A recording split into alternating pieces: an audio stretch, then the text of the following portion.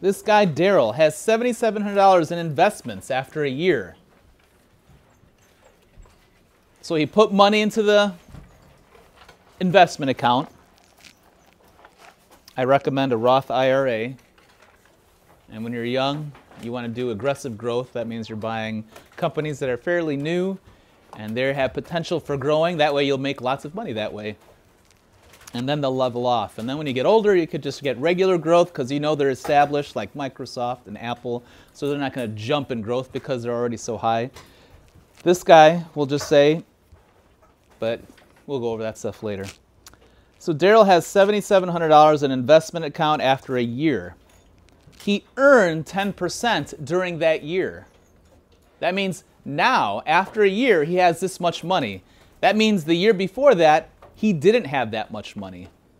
He had something, made 10%, and now he has $7,700.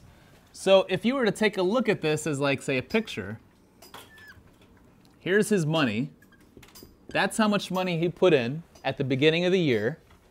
At the end of the year, he had an extra 10%. So that is the extra. And we know overall it turns out to be $7,700. So by looking at the picture, what does that $7,700 represent? Yes. That represents 90%. Look at that. You're not looking at the picture. Oh, 100%. You're not you're still not looking at the picture. The whole. What is the whole thing? You're lo- not looking at the picture. Oh, 7,000. Yes. Um, the whole is the 100% plus the 10% extra. So what is that? What is 100% plus 10% extra? Uh, 7,700. No, I mean in percents. I want to know what this is going to be. Um, 110. There you go. So that whole thing represents 110%. That is what you should have written down as your first thing. So now we want to find what is the question asking? Um, how much did he save in his account at first? So they want to know this. They want to know how much he had at first. So the question is, how do you turn 110 into a 100?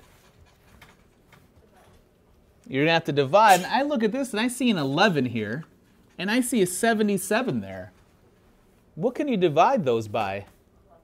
Ooh, I can divide this by 11. So I'm going to divide this side by 11. So 11 divided by 11 is a 1 with a 0 at the end of it. How do you turn a 10 into a 100? Times it by what? 10. Times it by 10. Multiply by 10. So you do the same thing on this side. Divide by 11. Well, 77 divided by 11 is just 7, isn't it? With two zeros after it. So he had extra $700 because that's what 10% is. And then you multiply by 10. So that's 7 with how many zeros after it? Count. Three. Three. So this guy, Daryl, had $7,000 in his account.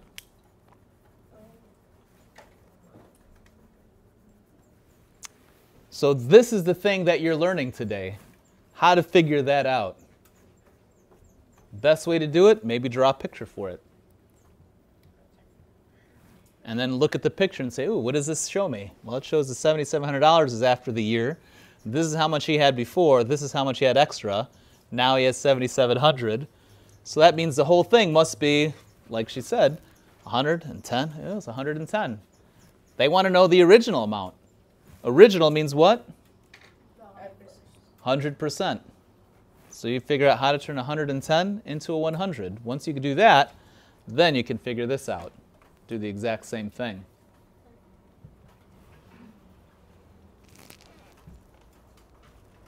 Yes. That's, that's, um, it's the same thing with the, um, with, if you have like different percents, like any other different Mm-hmm. percents different with the uh, hundred. Exactly.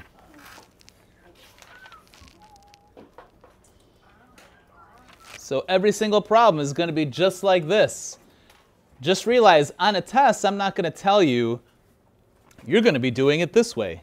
You have to figure out and say, ooh, I wonder if this, how do I know if I'm going to make this into 100% or make this into more than 100%?